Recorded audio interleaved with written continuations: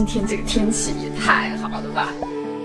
准备趁着阳光去一趟啊花市，家里急需一点鲜花来装扮一下。本来今天没准备拍东西的，阳光一出就非常有拍 vlog 的欲望。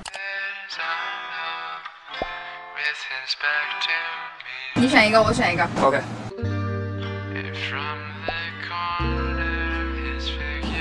这个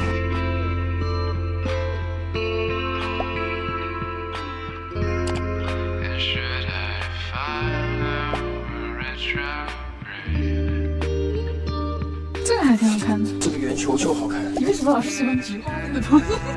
我喜欢这个颜色。来，花童，这位今天是来给我当苦力的。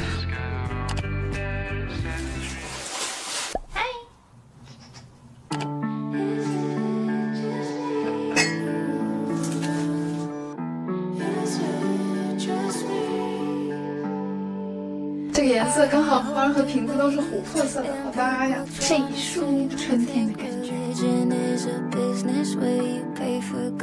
嗯，买到一束刺皮，打开的时候一个大头直接掉了。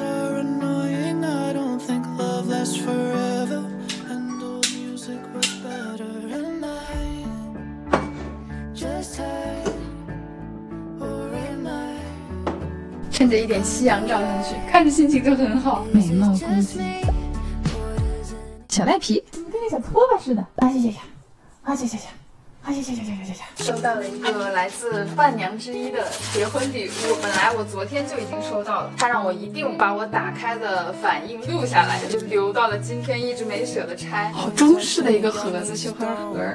我还暂时没看到里面是啥，但是我看到一封信，这么长，天呐！sunrise but the night still young. No words but we speak in tongues. If you let me i might say too much.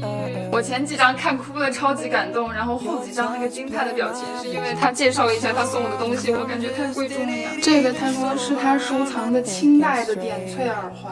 好漂亮啊大你什么时候结婚你晚一点结婚让我攒攒钱。还有一个是给我定制的钻石耳坠儿。这个我结婚那天一定要戴的。谢谢了我这个朋友比我大四岁还是三岁，是一个非常有想法，知道自己想要什么。研究生录了哈佛和哥大，竟然拒了哈佛，拒了哥大的人。